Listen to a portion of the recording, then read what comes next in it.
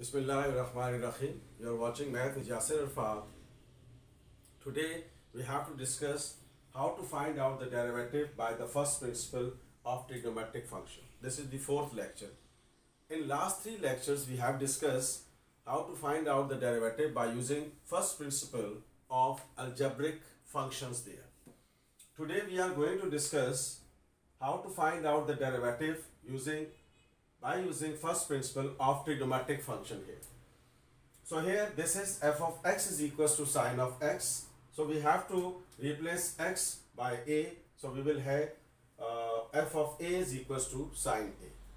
So we have this is we have the formula f prime a f of x minus f of a divided by x minus a with the limit x tends to a. So we have to use this formula for the first principle x tends to a. So this is f of x minus f of a divided by x minus a. So just we have to put the values here. That is limit x tends to a. F of x it is sine x. F of a it is sine a and whole divided by x minus a. Here in the numerator, this is sine x minus sine a. So we have the formula sine p minus sine q where p and q are the angle of the function here.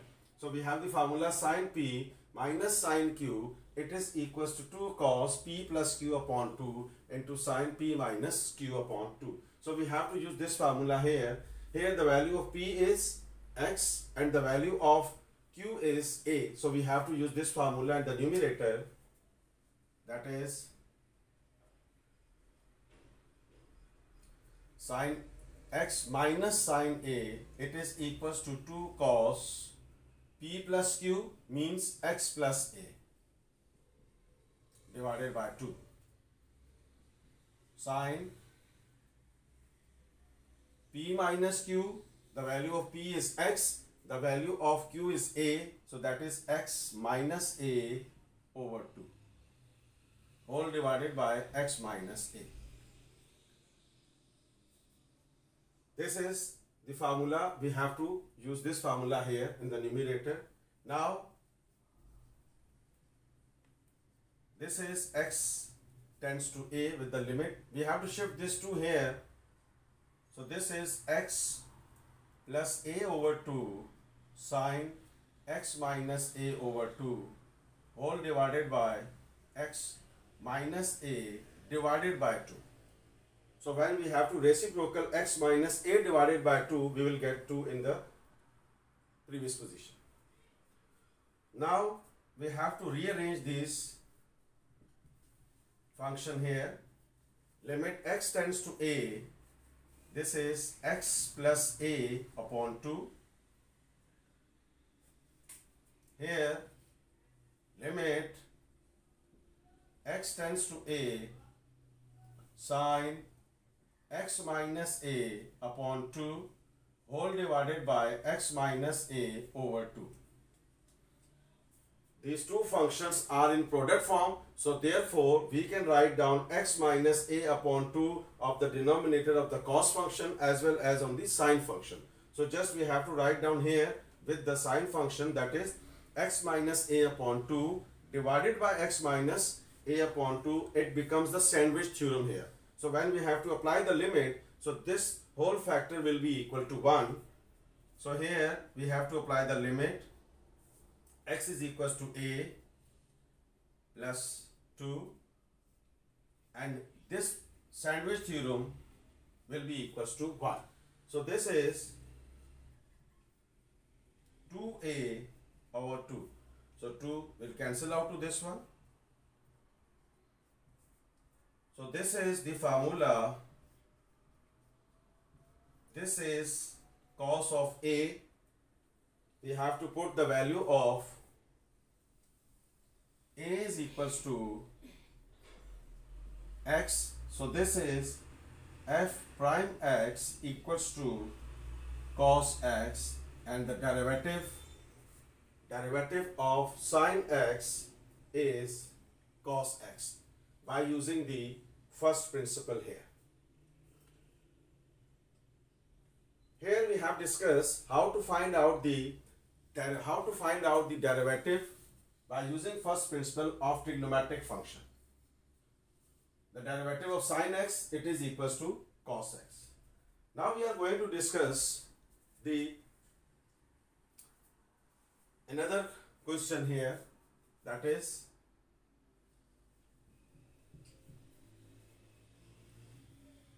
tangent x.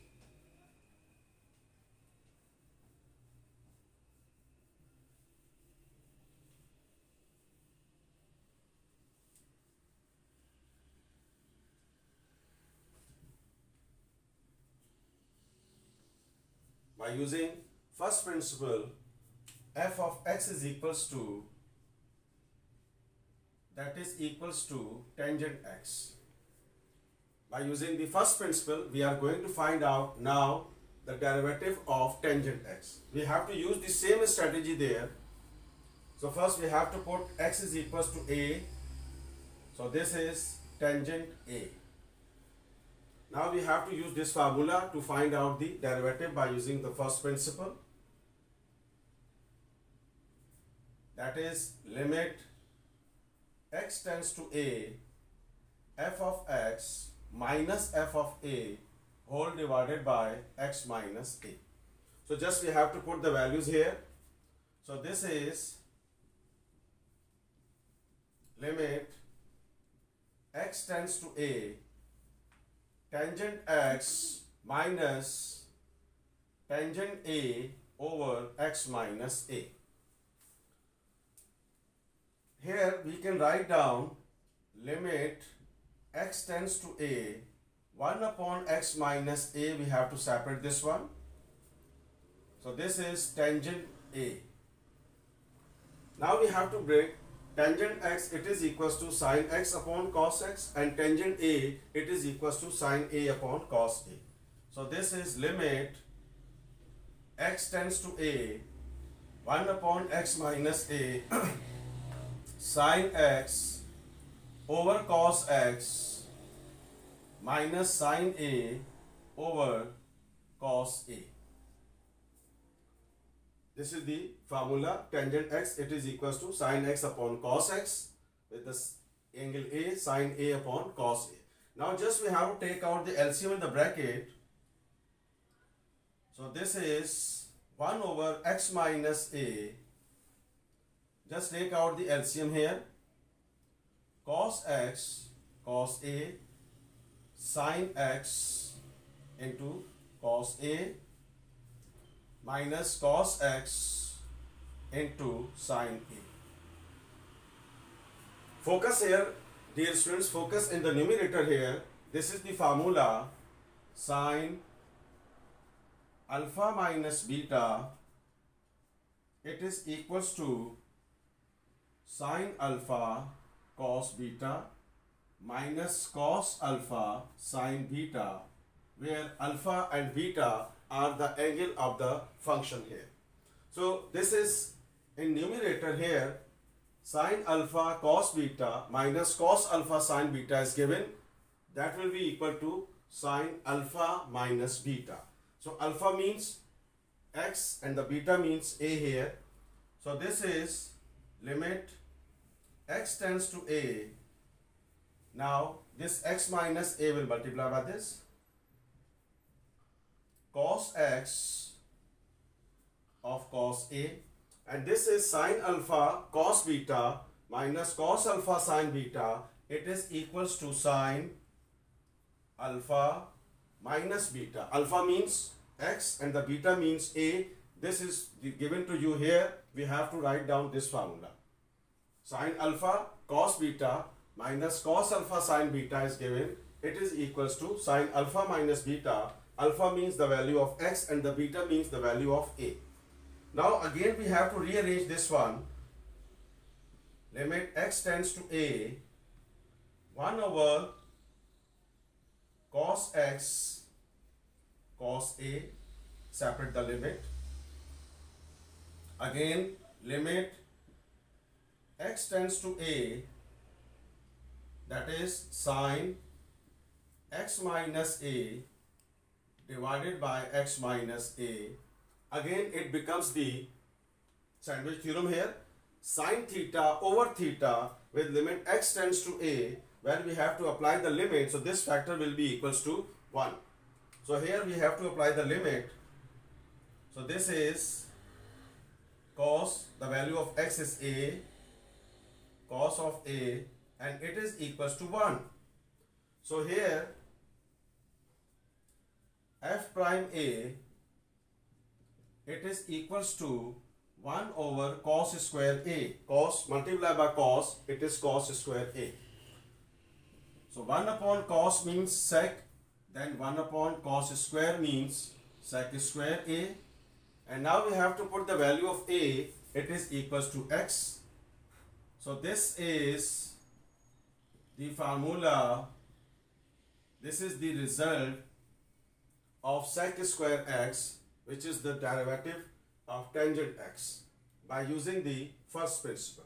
So the derivative of tangent x it is equals to sec square x and we have discussed how we have to apply the first principle to find out the derivative of the tangent x. Dear students, thank you so much. If you like this video, please share it and subscribe my channel Math with Yasir Arafat. Allah Hafiz.